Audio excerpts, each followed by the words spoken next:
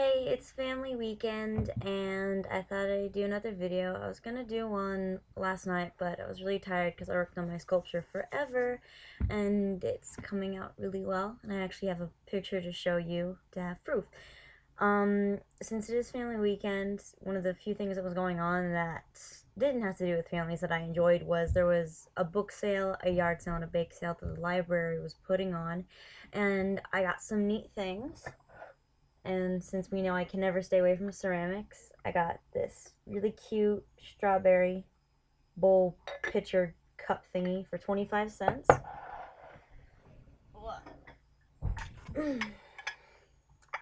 this cute strawberry pitcher for 25 cents. It has their signature on it so you can see that it's handmade, not manufactured. It is so very cute. And then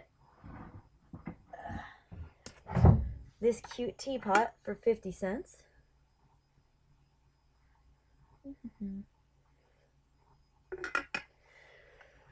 and then I got three books.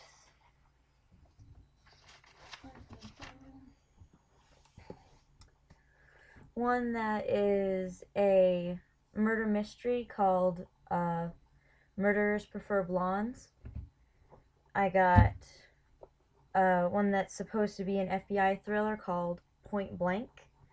And then I got this really neat uh, Japanese for Travelers, which has little Japanese phrases and little things about their culture, which I thought was really cool. And I got it for like 50 cents. So I was like, yay, let's totally do this for that much.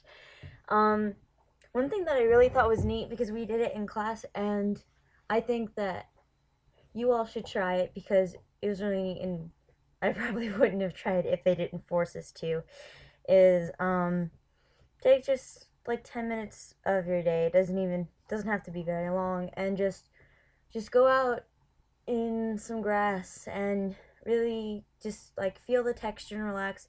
Don't look at your cell phone. Don't look at the time. Don't think about the chores you have to do or the homework you might have or your job or or bills or anything like that. Just just lay on the grass, look up at the sky if you want to, roll around and, and feel the texture of the grass, move it, and see how every individual blade of grass moves, and just do that for 10 minutes. And it's really, really interesting how relaxing it is, and it's actually really kind of nice because it's a little eye opening in a little bit of a minor way, but it doesn't really kind of expose anything to you. It just kind of, it's really nice. Just just try. It doesn't even have to be for that long. Um, and uh, as for my dragonfly sculpture, I was in the studio almost all day working on it, and here is a picture of it, if I can get the screen to not reflect. There we are. Um, it's about three feet in length, and here's another picture of it from overhead. And here's a picture of it from above. It's made completely out of cardboard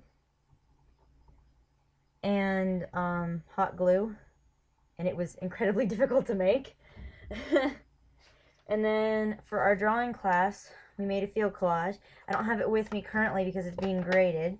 Um, one thing we did do as a current assignment was uh, we were in class and they're like, oh, bring your graphite sticks and everything. So we're like, okay. And then all of a sudden he's like, all right, I'm going to give you one hour to go out and make as many rubbings as you can. So we're like, oh, God. So um, we went out and did that. I'm only going to show you my favorites because I don't like all of them.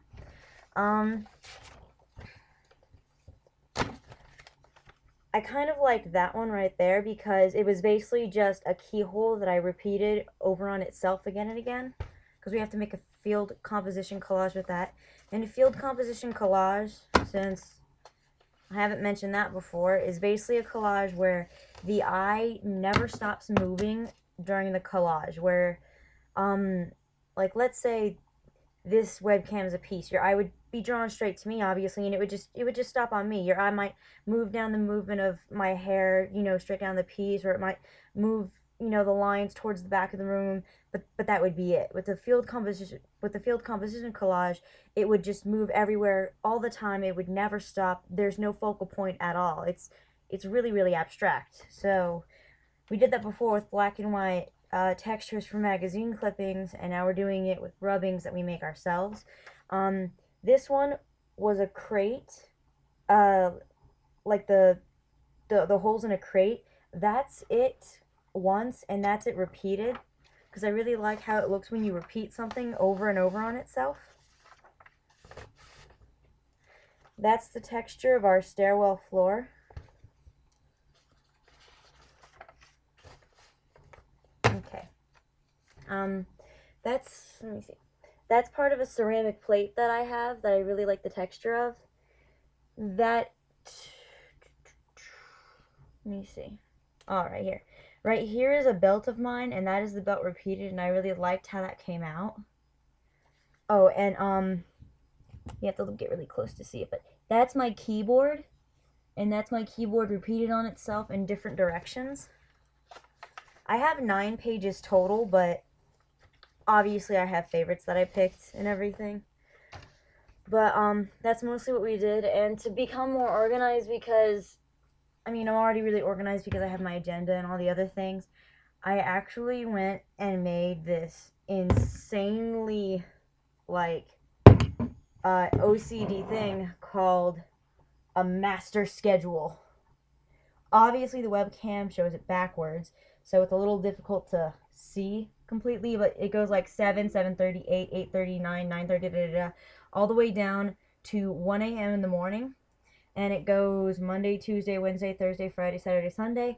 And I have my classes in, and then I put in things like lunch, dinner, when I should be sleeping, and then I put in things such as uh, when I'm going to possibly work in the studio outside of class, when I have club meetings, uh, I allot time to read for history, I allot time to do laundry, and it just makes it a lot easier so I don't forget things, and so then I'm like, okay, now I see how much time I, ha- I have left over to take a nap, to relax, to work in the studio if I still need more time to read a book or you know da da da da da and to do a bunch of things and it was really helpful and everything. It took it's a little time consuming but it's really worth it. Um not too much is going on. It it was actually so cold last night that for the very first time, even though they always have the heat on the building and it is abysmally hot in the building all the time, for the very first time, um, Emily and I shut the window and we didn't have the fan on at night,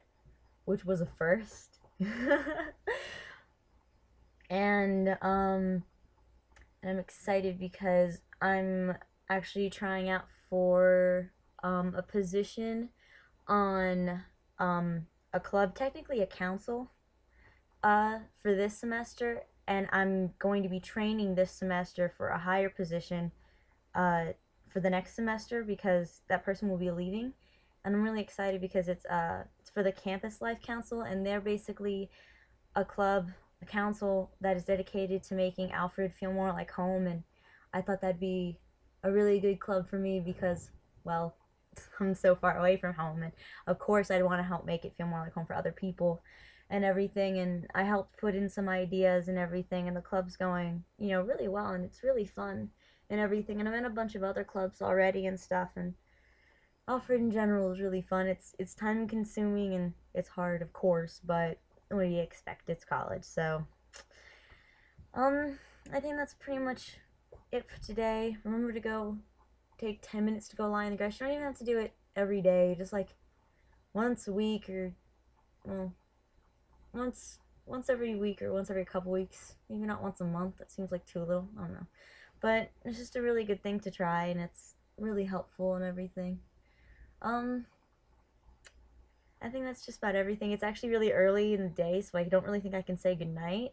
So, good afternoon. Bye.